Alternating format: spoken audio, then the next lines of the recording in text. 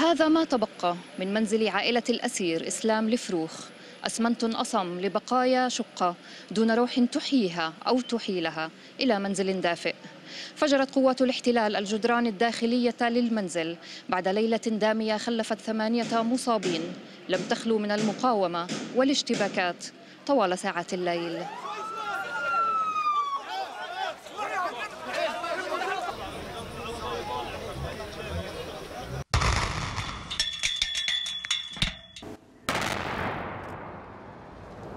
اجت قوة كبيرة من الجيش حاصرت المنطقة.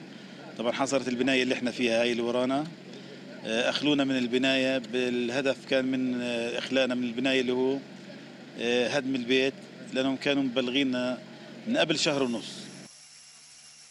اللي بيفقد بيته يعني شعور مش بسيط شعور صعب كثير الحمد لله بس إحنا مستوعبين الأمر يعني.